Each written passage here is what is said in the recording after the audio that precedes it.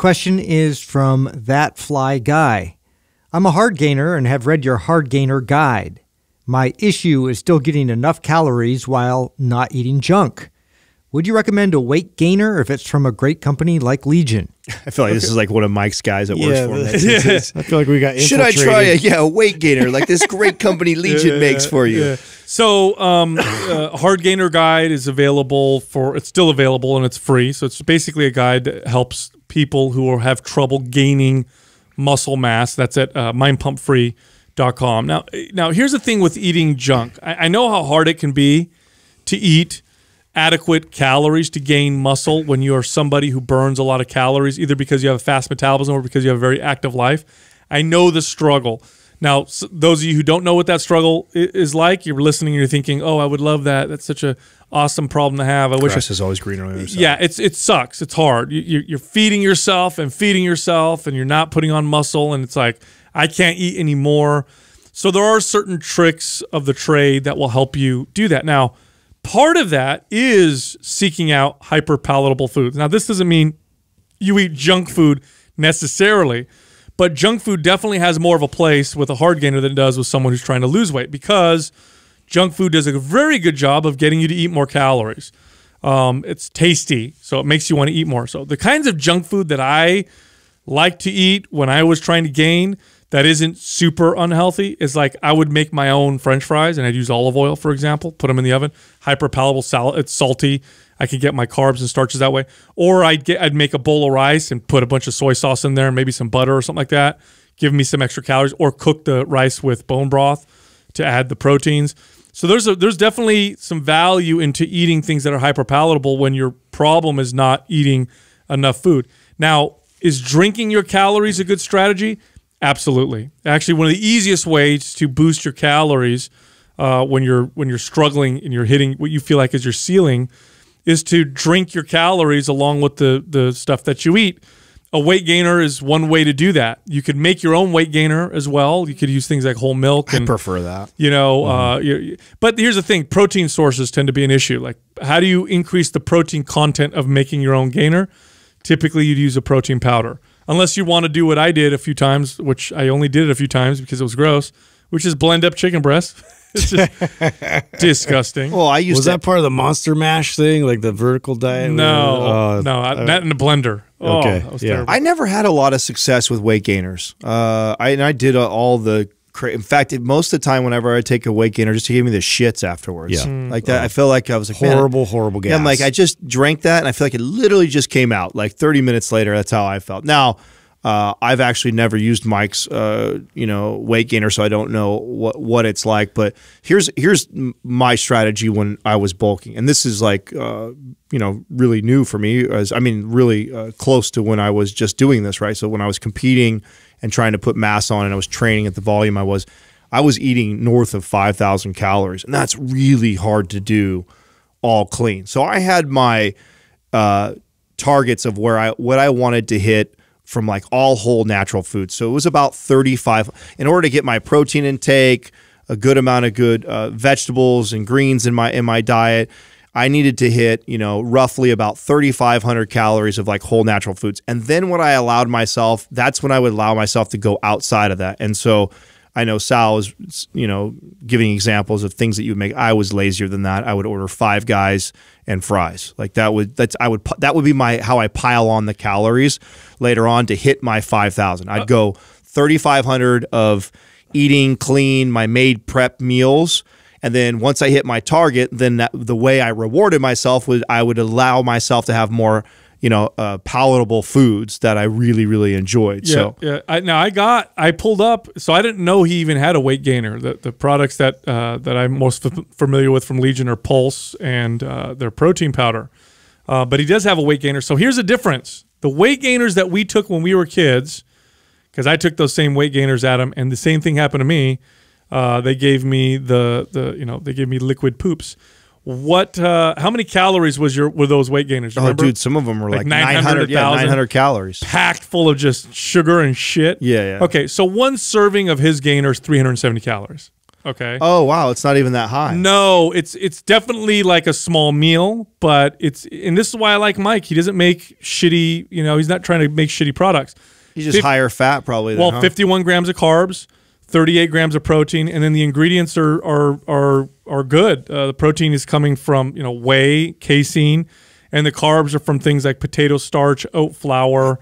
You know, he's putting flaxseed in there and stuff like that. So, not a bad not a bad choice in terms for especially for convenience because making your own can be different.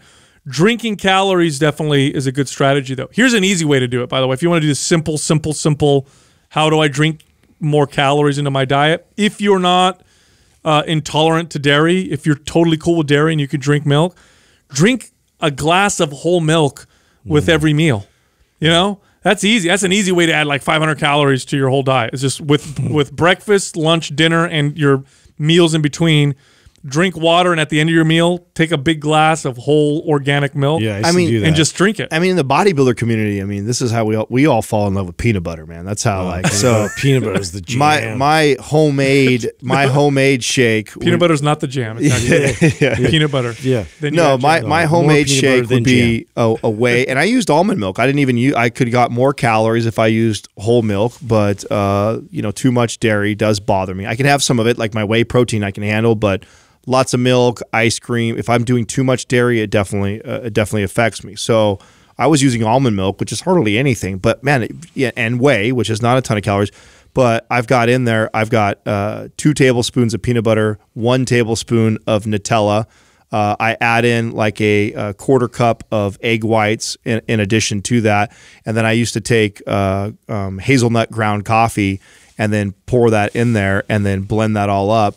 And man, that's a it ends up being a pretty high calorie shake still, and it's phenomenal. And Well- you throw a banana in there too for an extra 120, 130 calories. Dude, so here, this is what I did. This was what I did back when I, uh, and that shake, that shake did down, sound delicious. Here's what I did when I was a kid before I could. This is when I could have milk. I can't do this now.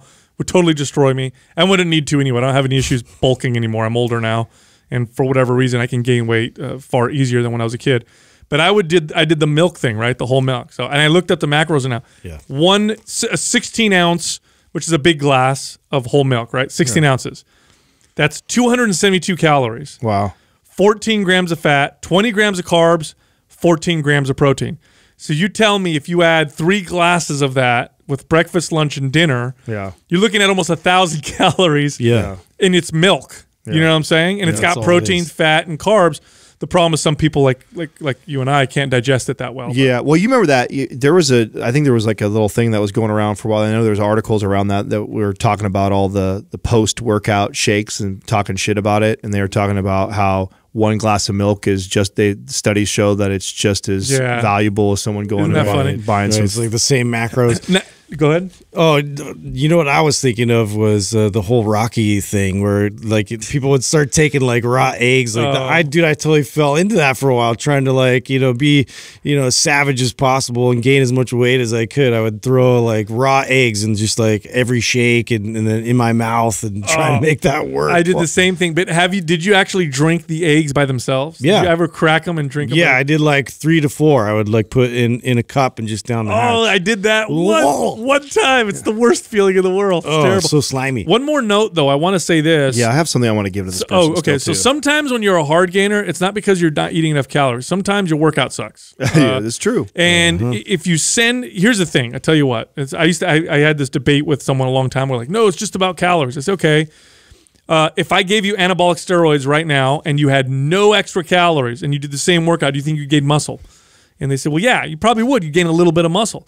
So there's a lot of signals that tell the body to build muscle. And the main one is your workouts. And if you're not gaining muscle, sometimes it's because your workouts are not effective. Well, a lot of times, a lot of times people are following. I mean, how common is that that you're following kind of the same type of a routine? Yep. You know, yeah, change up the reps or this and that, but you t- people typically kind of uh, gravitate towards like the same type of routines.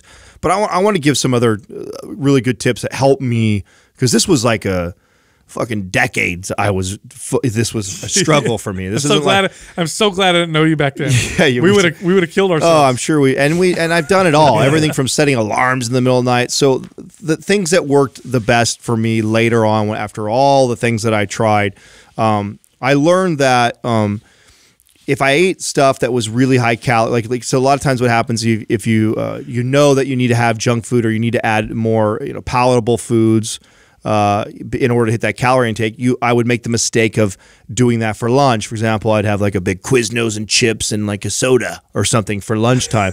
Problem with when you eat those.